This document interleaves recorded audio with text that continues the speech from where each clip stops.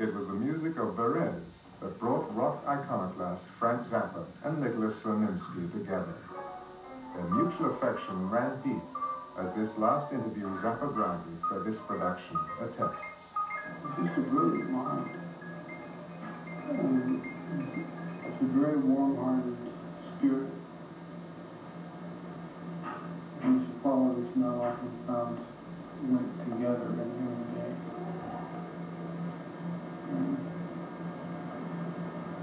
I just like him. One of the things I really liked about him was his wardrobe. I was impressed with his wardrobe from the first day he came over because he had that look.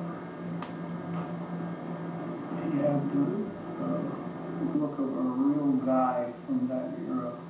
You know what I mean? Mm-hmm. The right kind of shoes, the right kind of tweed, rumpled, worn for a thousand years kind of sport coat, pants too short. He was wonderful. He was a fully developed guy.